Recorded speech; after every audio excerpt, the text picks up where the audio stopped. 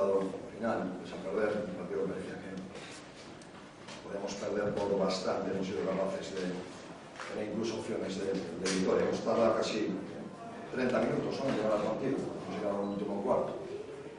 Muchos errores en los dos en los dos años, ¿no? en el primer cuarto sobre todo desde el punto de vista ofensivo. No sé, creo recordar 5 o 6 bandejas, tiros libres, muy cómodos, tiros abiertos.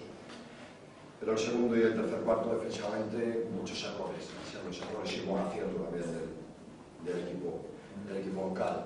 Lo mejor del partido para mi equipo, como decía, el resultado y la fe de, de no dejar seguir, ¿no? un partido que parecía que podíamos caer derrotados por una paliza, ¿no?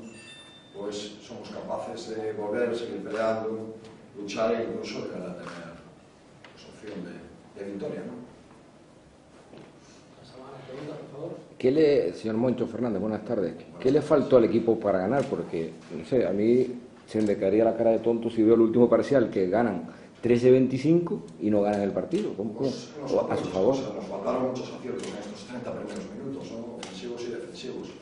No sé si hemos pagado también un poquito, bueno, pues el debut de muchos jóvenes, la inexperiencia, ¿no? errores, algunos inexplicables, ¿no? de, yo creo que eh, de la visoñez en algún caso y en otros, pues falta de tensión en algún momento. Pero digo que si el partido dura un minuto, ¿usted lo gana? Por baloncesto nunca se sabe.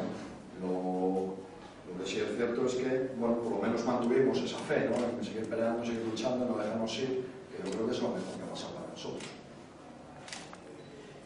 Las... No, normales, no, no, sé, además como ha sido, 28-20, no, no, no especialmente, no...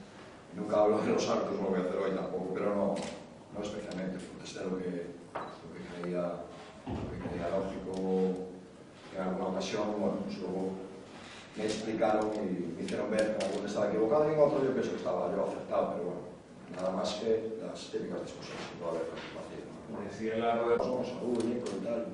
Eh, yo creo que si no jugabas porque estaba, estaba tocado, pero mejor que Alejandro me puede responder a, a esa pregunta. Totalmente afectado.